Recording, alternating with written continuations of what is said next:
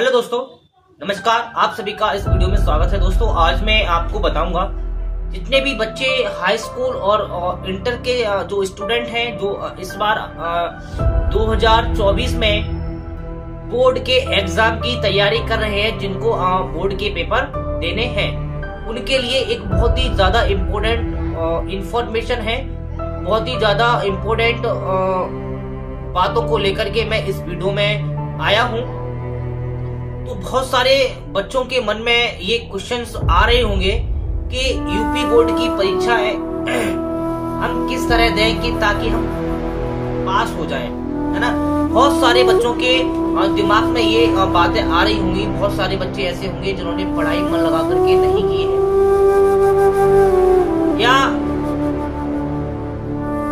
पढ़ाई करने का उनका जो तरीका है, जो ढंग है, वो अच्छा नहीं रहा हो। पढ़ने के बाद भूल जाते हो, या मेहनत तो करते हैं काफ़ी, लेकिन उसका जो नतीजा है वो अच्छे से नहीं मिल पा रहा है। पढ़ रहे हैं भरपूर मात्रा में, लेकिन वो सब हम भूल जाते हैं, याद नहीं रहता है।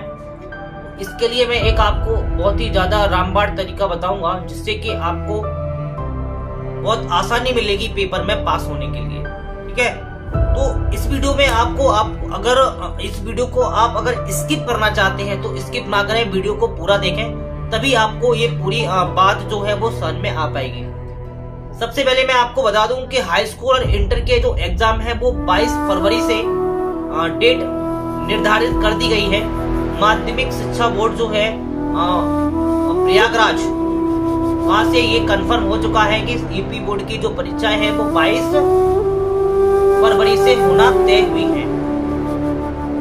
दूसरी बात, जो भी बच्चे पीसीबी और पीसीएम के हैं पीसीबी के बच्चे ये ना समझे कि मेरे पास गणित है और मुझे ज़्यादा मेहनत करने की आवश्यकता नहीं है। ये आपकी एक गलत फहमी हो जाती है कि गणित वाला जो स्टूडेंट होता है, वो ज़्यादा पढ़ता है बायो की अपेक्षा। बेटा, गणित और बायो में कोई ज़्यादा फ़र्क नहीं है। फिजिक्स आपको पढ़ना पड़ेगा दोनों में सेम। केमिस्ट्री आपको सेम पढ़ना पड़ेगा, लेकिन मैथ में ये है कि मैथ में आपको सवाल लगाने पड़ेंगे। बायोलॉजी में आपको पूरा याद करना पड़ेगा। बायोलॉजी सरल नहीं विषय है। वो आपकी मेहनत के ऊपर डिपेंड करता है। ये बात क्लियर हो गई। पढ़ना किस तरह से है आपको? पढ़ने का तरीका ये है कि सबसे पहले आप अपना टाइम टेबल बनाइए कि मुझे इतने घंटे पढ़ना है। खेलने के लिए मैं मना नहीं कर रहा। खेलो भी। अपना जो आपका प्रिय खेल है, जो आपका फेवरेट जिसको आप फेवरेट प्ले कर सकते हैं, यानी कि जिसको आप अच्छी तरीके से खेल सकते हैं, उसको खेलिए। लेकिन हाँ एक सीमा अवधि के अनुसार आपको समय निर्धारित करना पड़ेगा कि इतने घंटे हमें पढ़ना है। लेकिन प्रियोरिटी इतनी होनी चाहिए कि जितने घंटे आप तय कर रहे हैं, उतने घंटे कम से के, कम से कम आप पढ़े ज़रूर।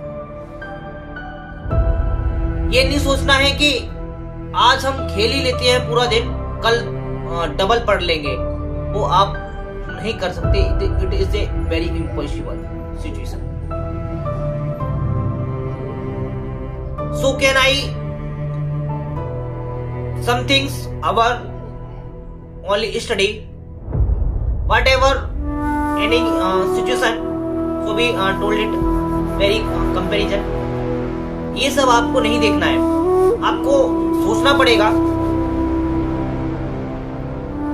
कि जो तरीका है वो किस तरह से बनाए तरीका आपको ही बनाना पड़ेगा तो मैं तो केवल आपको बता सकता हूँ कि ये तरीका आपके लिए बहुत ही ज़्यादा कंफर्टेबल और बहुत ही ज़्यादा सूटेबल होने वाला है। सर्दी का मौसम है। इस मौसम में पढ़ाई गर्मियों की अपेक्षा बहुत अच्छी हो जाती है क्योंकि गर्मियों गर्मियों के मौसम में आ, थोड़ी गर्मी की समस्या रहती है, आप नहीं पढ़ पाते हैं, ये समस्या हो सकती है। लेकिन सर्दियों का जो मौसम होता है, वास्तव में बहुत ही ज़्यादा अनमोल समय होता है, बहुत ही ज़्यादा अच्छा समय होता है, जिसको हम बोले कि बहुत ही ज़्यादा सुटेबल समय जो होता है वो स्टूडेंट के लिए ये वाला होता है। बोर्ड एग्ज़ाम भी कितने अच्छे समय में है आपके, फरवरी में। सर्दियों का मौसम है, ज़्यादा सर्दी भी नहीं होती है, ज़्यादा गर्म मौसम भी नहीं रहता सर्दी रहती है लेकिन कड़ाके वाली सर्दी नहीं रहती है। मेरा मतलब ये है कि आप घर पर बैठ करके आसानी से पढ़ सकते हैं। और अब मेन बात यह है कि परीक्षाओं में हम किस तरह का ध्यान रखें किस तरह की हमें ऐसा काम करें जिससे कि हमारे आ, पेपरों में या किसी भी तरह की कोई बाधा उत्पन्न नहीं हो। वो सुन लें ध्यान से। सभी कॉलेजों से आपको एडमिट कार्ड उपलब्ध करा दिया जाएगा। पेपर से दो चार दिन पहले सभी कॉलेजों में एडमिट कार्ड वितरण कर दिए जाते हैं। आपको एडमिट कार्ड मिल जाएगा। एडमिट कार्ड मिलने के बाद आप उसको पढ़ेंगे। उसमें जो भी आपको नोटिस दिया होगा, यानी कि उसमें कोई कुछ नहीं रहता है, केवल इतना रहता है कि परीक्षा केंद्र पर समय से पहुँचे ये है, वो है। आपको नकल ऐसा कुछ नहीं करना है। सब कुछ अपना ईमानदारी के साथ जाना है और ईमानदारी के साथ ही आपको पेपर देना है। है ना? तो ये विशेष ध्यान रखेंगे सभी बच्चे। और दूसरी बात अपनी तैयारी करके जाए। किसी के ऊपर डिपेंड नहीं रहे। स्वयं की ज़िम्मेदारी स्वयं ही लें। किसी दूसरे को अपनी ज़िम्मेदारी नहीं दें। और सबसे इम्पोर्टेंट बात यह है कि आप मैं आ, मैं समझ सकता हूँ कि ज़रूरी नहीं है कि हमारे घर के पास ही मैं परीक्षा केंद्र हो। ज़रूरी नहीं है ऐसा। काफ़ी दूर भी हो सकता है, दस, बीस किलोमीटर दूर भी हो सकता है। मेरा कहने का मतलब डायरेक्टली ये है कि आप परीक्षा केंद्र पर समय से ही पहुँचे। समय से पहुँचने के बाद दस पाँच मिनट पहले पहुँच जाए, कोई दिक्कत नहीं है। आध घंटे पहले पहुँच जाए, कोई दिक्कत नहीं है। बट हाँ पहले दिन आपको जब जाना है तो समय से जाना है और आध घंटे पहले जाना है। ये बात आपको बहुत ही ज़्यादा ध्यान में रखनी है। क्योंकि आपका जो एग्ज़ाम है वो नहीं छूट पाए और ऐसा नहीं हो कि आपकी फिर एंट्री नहीं हो। ऐसा भी आ, अच्छा ये सख्त नियम है कि आ, समय के आ, बाद आपकी एंट्री शायद ही मुश्किल हो, हो पाएगी। तो इसका विशेष ध्यान रखेंगे।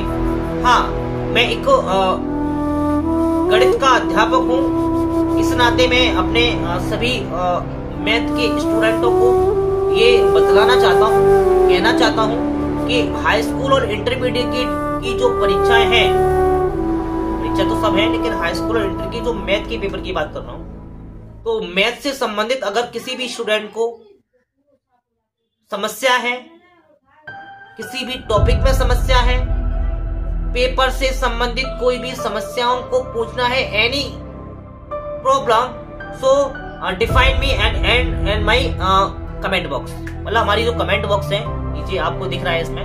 कमेंट में आप बोल सकते हैं, उस टॉपिक पर आपको वीडियो मिल जाएगी। संक्षिप्त रूप से आप अगर चाहेंगे तो हमसे कॉल पर भी बात कर सकते हैं। इसकी कोई ज़्यादा बड़ी बात नहीं है। हम भी भाई एक इंसान ही है छोटे मोटे तो इतना बड़ा वो नहीं है केयर इश्यू हम बात कर लेंगे है ना? तो अगर कोई भी किसी को समस्या हो तो वो बेझिझक बोल सकता है उनसे कांटेक्ट कर लेंगे। ऐसी कोई बड़ी बात नहीं है।